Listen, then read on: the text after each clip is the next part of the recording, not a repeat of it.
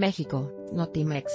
Guión por segunda semana consecutiva, la película estadounidense de terror sobrenatural gótico La Monja, dirigida por Corin Hardy, fue la más taquillera este fin de semana en México, al recaudar 64.05 millones de pesos, y contar con la asistencia de 1.19 millones de personas. De acuerdo con el reporte de la Cámara Nacional de la Industria Cinematográfica, Canacine, del 14 al 16 de septiembre, la cinta británica de acción y comedia Johnny English 3.0, dirigida por David Kerr, se ubicó en el segundo puesto con 20.50 millones de pesos, y contó con la asistencia de 366.22 mil cinéfilos.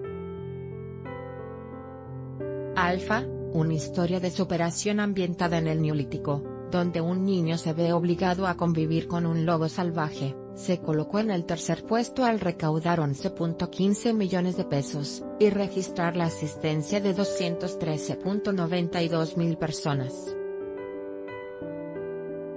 En ese periodo, La Sirenita, protagonizada por Loreto Peralta, William Moseley, Poppy Drayton, Diane Carroll y William Forsythe, quedó en el cuarto puesto con 9.88 millones de pesos en recaudaciones, y 196.83 mil asistentes. En tanto, la cinta El Día de la Unión, que narra la compasión humana y el compañerismo que se vive en el pueblo mexicano tras el terremoto de 1985, se colocó en el quinto sitio al recaudar 8.22 millones de pesos, y registrar la asistencia de 164.42 mil cinéfilos.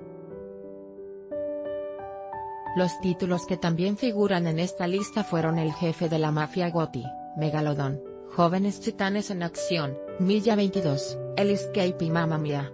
Vamos otra vez.